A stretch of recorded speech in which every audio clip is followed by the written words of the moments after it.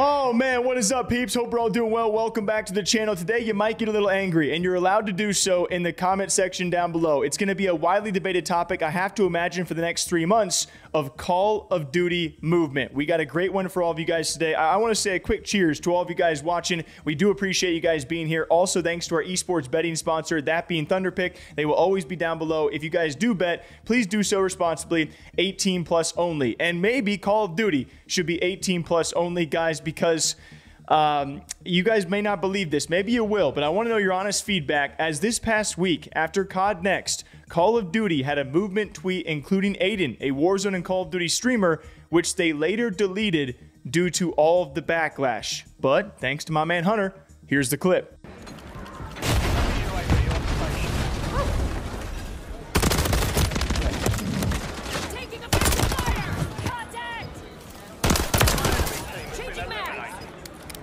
And I saw that and I was like, man, I would be very frustrated if I ran into someone like Aydan in this game. And I have ran into kids like this in multiple titles out there, but especially, you know, XDefiant, Call of Duty, your faster FPS, you know, shooters. It's just, it happens, right? It's not all too common, but typically when people see these clips, well, it, it, brings out a lot of frustration, and this one was no different. Unfortunately, after Call of Duty deleted the tweet, it's very hard to go back and find quote tweets, but let's read a few of these together and let me know how you guys feel about that Aydan clip, okay? As this guy said, y'all asked for this, you goofy Fs begged for this to come back, and now look at this abomination. COD has never been more effed and a lot of different responses out there on this saying, you know, this is literally just YY spam to look cool, right? There's nothing happening here other than three slides. Uh, Goose saying three slides where the dude goes like 15 feet. It looks like crap, and I almost guarantee it'll be effing AIDS to fight. And it goes on and on. One of the more viral posts throughout this, yes, 50,000 plus likes, guys,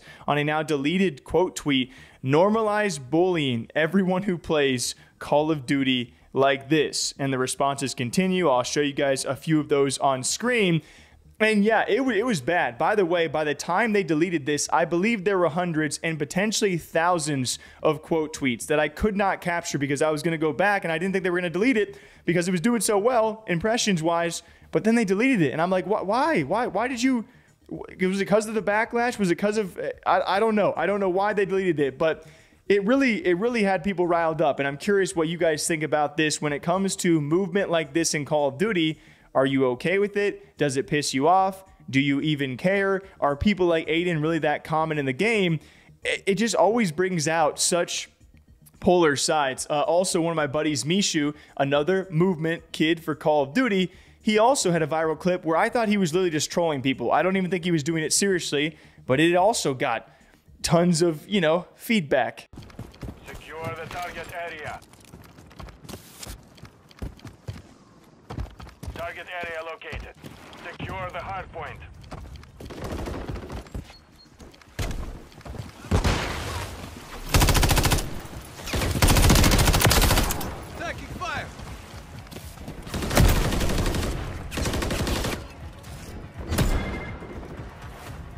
And at the end of the day, I am not even sure how to feel anymore because I feel like for the most part, I, I, usually can't really keep up with most people in Call of Duty. And most people I come across are not doing these types of things for movement. It's also a bit weird in the responses because sometimes people just hate this, right? But then other times people respond saying people who move like this can't even shoot straight, so it doesn't really matter. They end up going negative regardless. So I just don't know where people stand on the argument or how I feel. Yes, it is certainly frustrating to play Call of Duty against people who move like this, but I just don't think it's really all that common or some people out there saying it just straight up ruins Call of Duty. So I'm not really sure what side I'm leaning towards on all of this. I'm more so just like laughing at all the responses because people take it very, very seriously. There are diehard proponents saying, yo, we need this kind of movement back. And there are diehard people on the opposite side saying this is killing Call of Duty. So where do you guys fall on this topic? Or are you like me? We can sit back and just like breathe, you know? Till next time, take care of yourselves though. Drink up. I, um, I wouldn't recommend something like this. It's, uh, it's like grass, but it is healthy. Till next time, take care. We'll see you back here soon.